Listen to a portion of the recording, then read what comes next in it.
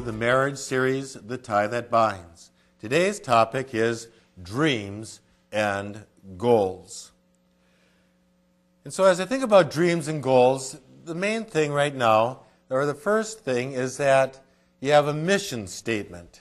Mission statements are very important because they define who you are and what you are about, whether it be uh, an organization, such as a church, or as an individual, or as couples. What is your mission statement? You know, companies and businesses, they have their mission statement. And I notice that those mission statements, they are all over the place. They got them up all over the building so that as workers are going through their building, that they are always reminded, if not on a daily basis, on an hourly basis, you know, what is the mission of the company? What is it that we are all about? And so even though you may have very different departments within the company, that each department understands what it is that all of us together are working for, and that is the mission of the company. I serve a church, and our mission statement is to know Christ and to make Christ known. This defines who we are as a church. And so, everybody, no matter what their gifts are and their talents, or what areas of the church that they're working, is that everybody is aware of our mission statement. The mission statement is simple enough that everybody from, from the young all the way to the old know what the mission statement is, but it also is a mission statement that is powerful enough that encompasses our whole ministry. But the mission statement also is a boundary, in that it doesn't detract us from becoming something that we are not. Mission statements are very important. For instance, a church that does not have a mission statement is a church that's going to be in trouble because that church is going to be polarized because you're going to be people going in every which direction, whereas the mission statement keeps everybody focused. This is what we are about. And so that's where somebody that comes along and wants to be about something else, saying, well, you know what? The church's mission statement is this. You know, if this is not what you're about, then you're in the wrong place. But hopefully, for all Christians, that they understand that our mission statement is to know Christ and to make Christ known. And so, as I think about marriage as a church or as a business, is that it's very important for couples to be considering what their mission statement is. Joshua, he was a great leader. As we read in the Old Testament, he was a great leader of God's people. He understood what his mission was as far as being the leader of God's people, but he also understood what his mission was in being a husband and also a father. And so I read one of his most beautiful mission statements. It comes from Joshua chapter 24, verse 15. But if serving the Lord seems undesirable to you, then choose for yourselves this day whom you will serve, whether the gods your forefathers served beyond the river, or the gods of the Amorites in whose land you are living. But as for me and my house, we will serve the Lord. And so Joshua, he's leading the people. He's a man of strong faith. He knows what is good, what is right. And of course, as a leader, you're only a leader if you've got followers.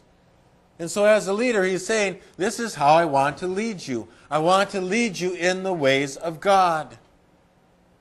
And so he says, basically, I really don't have any control over your decisions, but I do have control over my family. Saying, as for me and my house, in other words, for me, my wife, and my children, we are going to serve the Lord. And so, as your leader, I'm being the example to you that you also will do the same. That that is the mission. That is the mission for, as Joshua is saying, that as the leader of the people, but also the leader of my house, we will serve the Lord in all of our, our love, our strength, and everything about our person. And so I think about as a couple, think about what is it that you're about? What is your mission statement? What is it that defines who you are as a couple and what you are about? And so I have, you know, as an example of a mission statement for couples. We are children of God, called together as one for the causes of Christ. And so do you see that as being a mission statement? That we are called by God, we are brought together as one, and we will serve Jesus Christ in our lives. That that is what we're about, and that is what a couple will remind themselves of, hopefully on a daily basis. And so once you have your mission, esta- mission statement established, then from there you start working on your goals. What is it that are good goals for your marriage? Because here again, if you set good goals, then you're always working towards something. And when you're working towards something, then you're together. And when you're together, then a lot of the byproducts of that is that you are communicating, you're interacting, you are being married. And so it's very important that you establish good goals.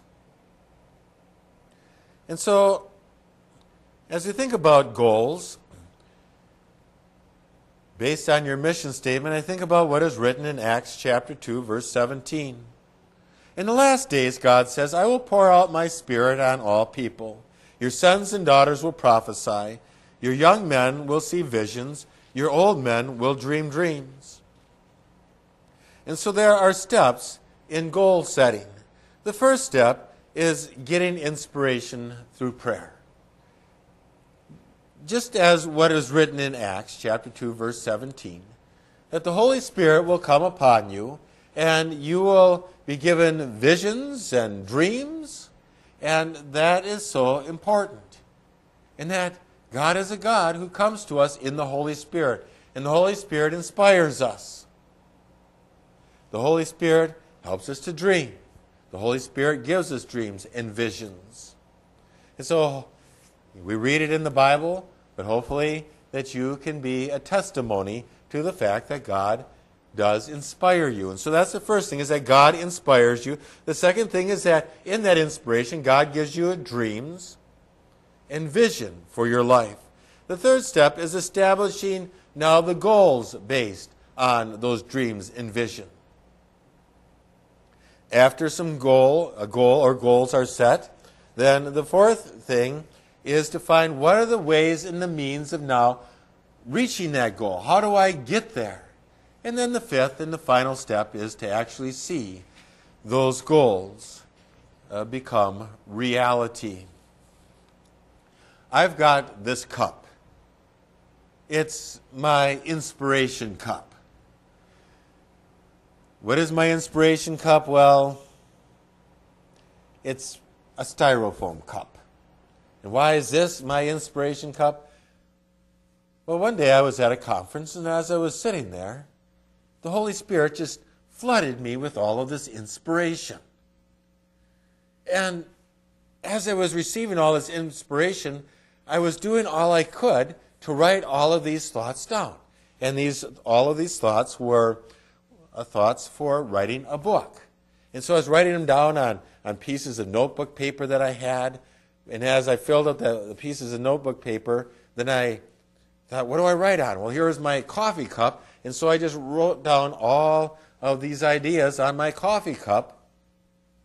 And then I got back to my office, and that's where I developed my outline and started writing my book, and then to see the reality of it, the final product, my book entitled River Reflections.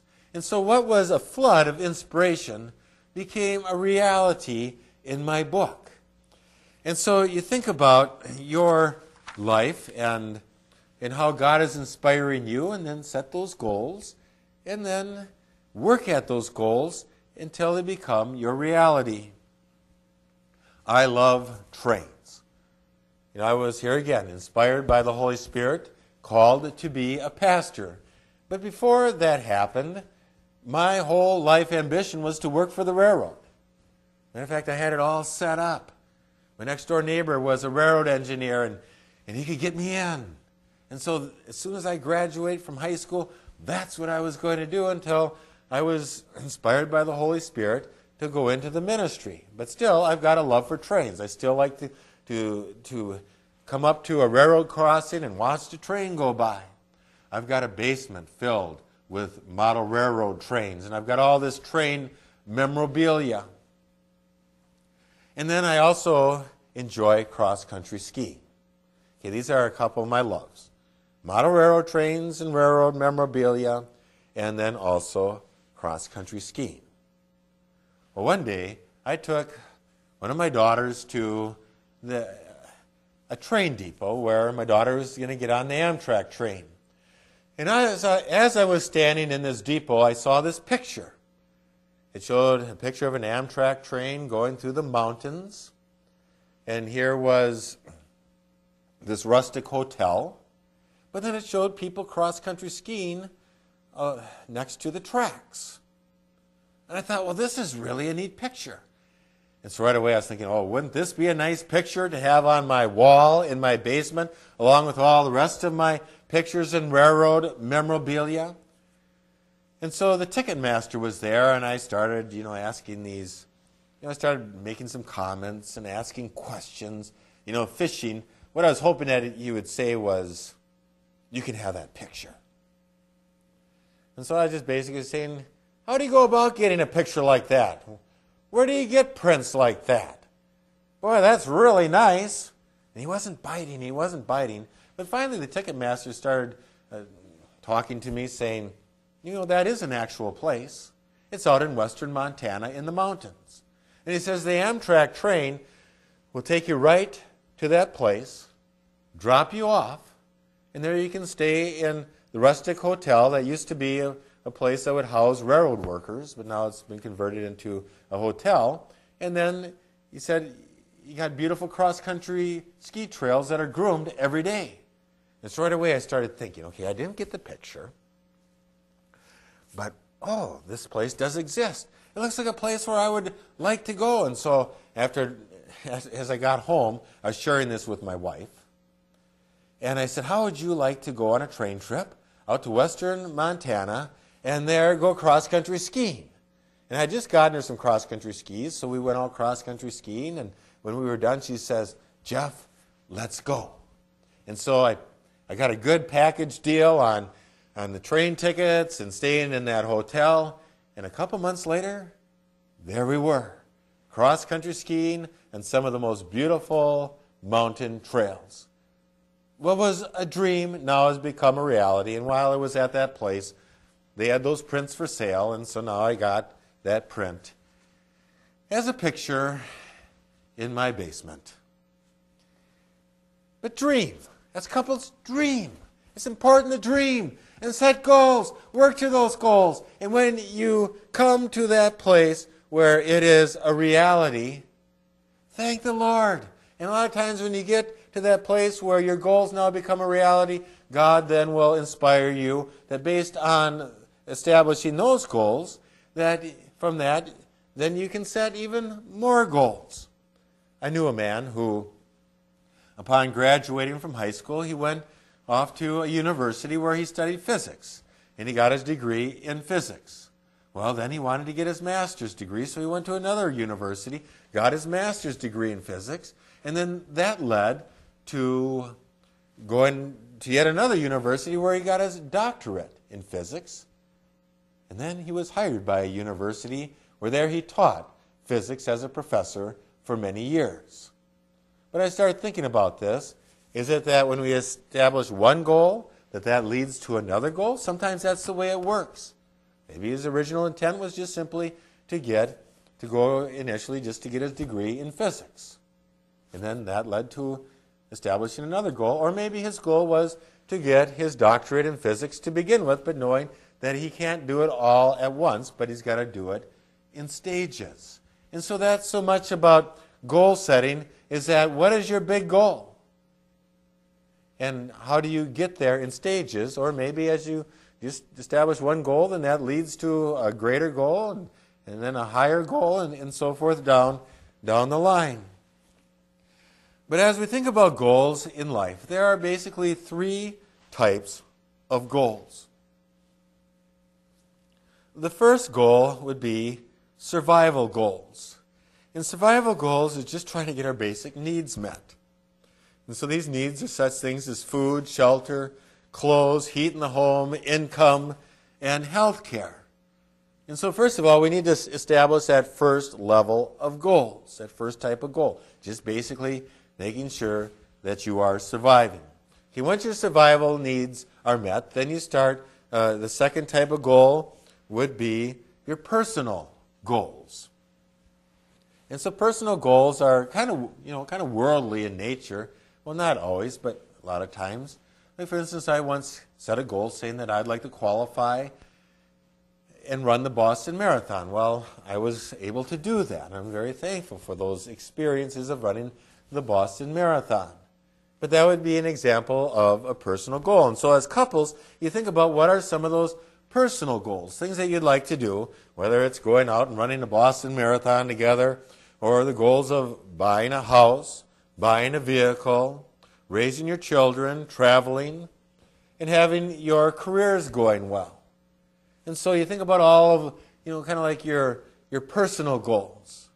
But then the third type of goal, the third level of goal, would be purpose goals. In other words, what is your purpose as a couple? How do you see your purpose as far as serving outside of yourself? How are you blessed to be a blessing to others? And so when your basic needs are satisfied, and when you have kind of established some of your own personal goals, you know, things that mean a lot to you personally, but then also now looking outside of yourself saying, we exist for causes outside of ourselves. And so these goals are spiritual in nature. That is where God is inspiring you. Saying, oh, yeah, running the Boston Marathon or going out traveling, things like that. It's all good, but, but I've put you together for reasons beyond that.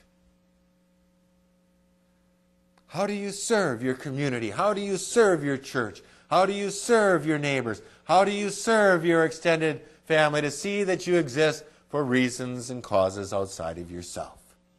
And so those goals are very important. Purpose goals.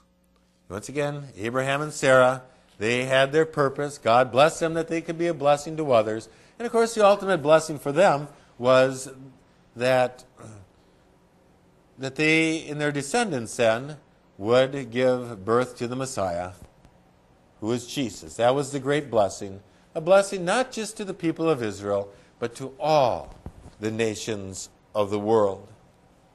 The Apostle Paul writes in Philippians chapter 3, verse 14 I press on toward the goal to win the prize for which God has called me heavenward in Jesus Christ.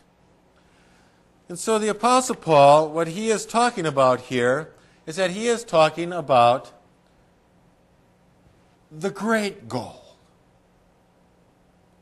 The goal that God has instilled in every one of our hearts. That is the great goal. It supersedes any worldly goals. And that is the goal to be in heaven.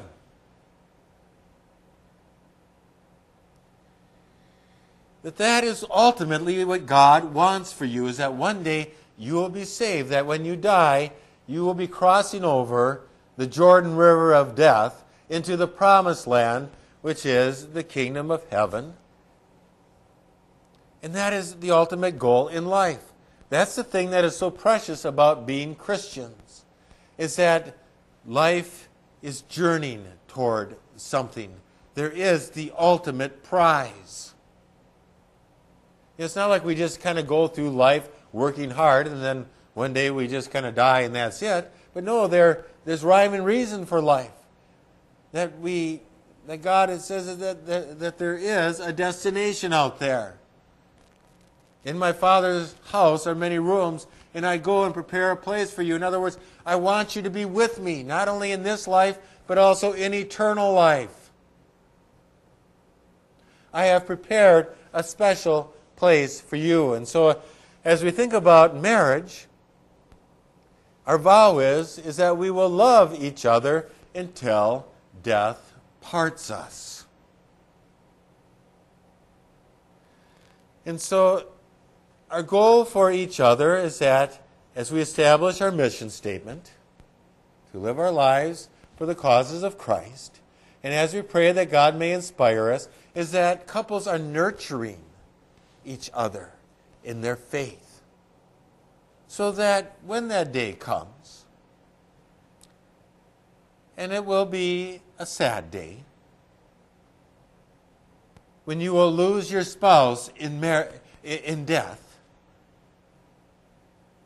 but yet there will be that spiritual satisfaction within you knowing where your spouse is.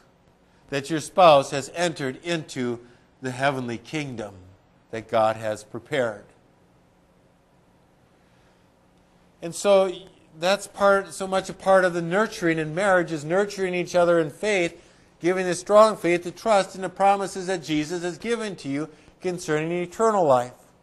But as you journey toward home, God's heavenly kingdom, that God will give to you goals that He wants for you to accomplish in this life as you journey. This life can be a very special journey. Yes, it has its hardships, but yet God has given to this life that we may experience the joy of His presence and to say that I've given to you purpose, purpose in me, so that you will live your life. That you will live your life for my glory and for my outcomes. And that is always the most fulfilling life. Now, as I work with couples in their pre marriage counseling, and I start saying, well, let's start goal setting. Based upon your mission as a couple, what are your goals? Now, here again, we can't, you know, a lot of times in life it's like, okay, these are our goals. We want to get this accomplished. We want this, and we want our goals to happen, and we want them to happen now. Well, a lot of times our goals are things that that don't just happen all at once. Here again, we have to plan. Some goals take time, and so there's lots of planning, there's lots of patience, there's a lot of hard work. And so I'll ask a couple, saying, okay, what are some of your goals? Okay, and I say realistic, realistically, what are some of your goals that you can accomplish in that first year of marriage? And then I'll ask the question, okay, well, here's another goal, but maybe it won't be realistic for you to be able to accomplish it in your first year of marriage, but maybe this would be a good three year goal or a five year goal. Or maybe this would be a good 10 year goal or a 25 year goal. And so you kind of establish goals so that you're always working towards something. And here, like I said before, is that as you reach one goal, that sometimes then based on reaching that goal, then you start to develop other goals. But that's the whole thing is being realistic so that you're not disappointed saying, well, here's one of our big goals. Oh, we, we weren't able to accomplish it in the first year. Well, just relax. Don't worry about it. If you weren't able to accomplish it in your first year, well then maybe you can accomplish it, you know, in your second year or your third year.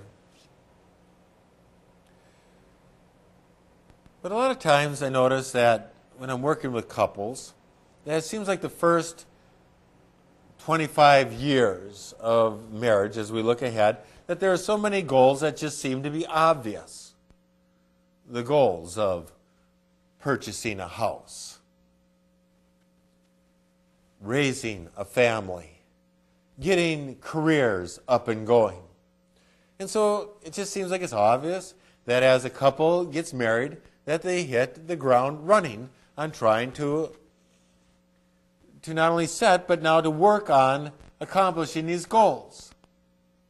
Not with every couple, but with a lot of couples that when they reach their 25th anniversary, that they that they can now say, well, we've accomplished a lot of these goals.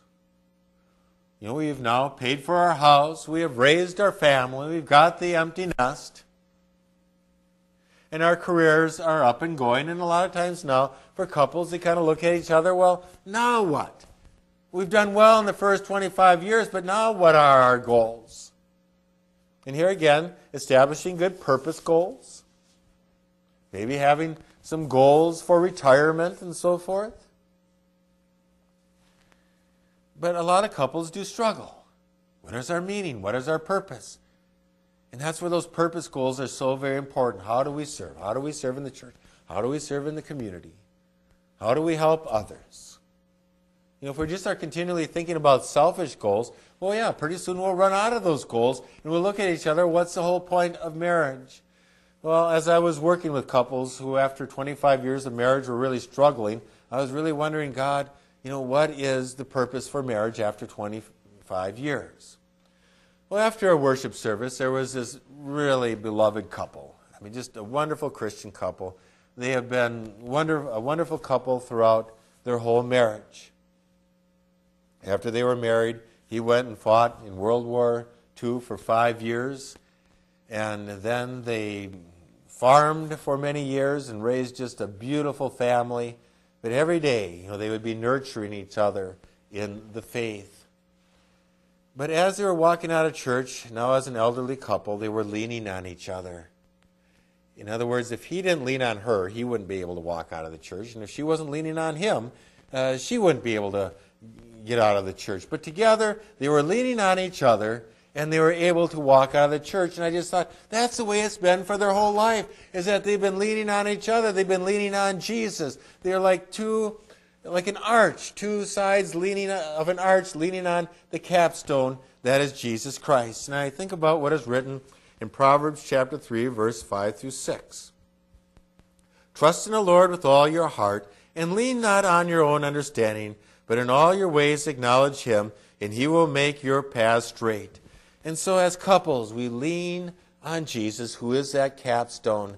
And in leaning on Jesus, leaning on each other, we can walk through life, reaching that heavenly goal.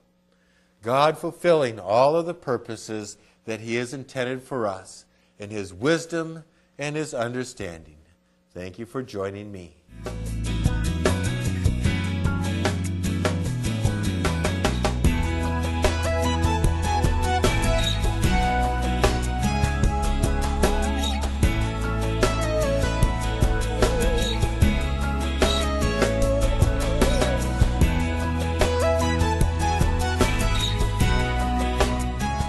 On behalf of the Lutheran Church of Peace, I'm Robert Snyder.